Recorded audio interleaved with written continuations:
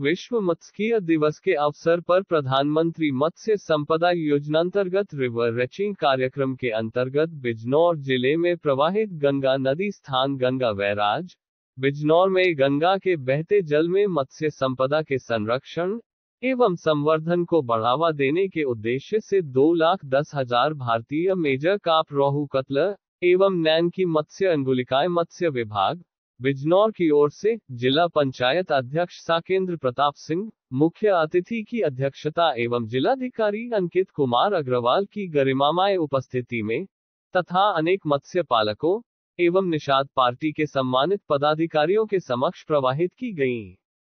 साथ ही साथ प्रधानमंत्री मत्स्य संपदा योजनांतर्गत motorcycle with ice box, cycle with ice box के लाभार्थियों को हरी झंडी दिखाकर रवाना किया गया।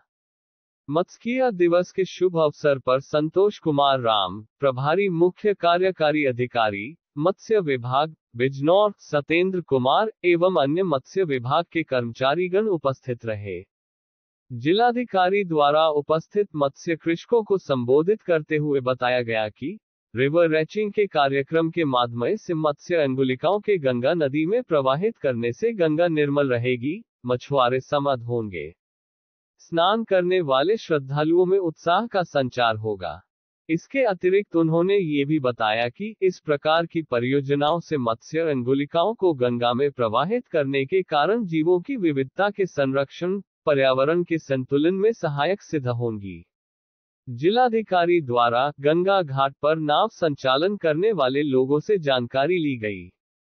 संतोष कुमार राम, प्रभारी मुख्य कार्यकारी अधिकारी, मत्स्य द्वारा, मत्स्य विभाग में संचालित विभिन्न योजनाओं से संबंधित तकनीकी, आवेदन प्रक्रिया तथा पात्रता संबंधी जानकारी दी गई।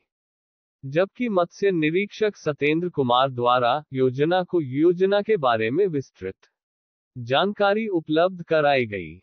समस्त प्रतिभागियों द्वारा नितांत तल्लीन होकर वक्ताओं को सुना तथा अपनी जिज्ञासाओं का समाधान कर लाभ अर्जित किया। बिजनौर से नीरज कुमार की रिपोर्ट।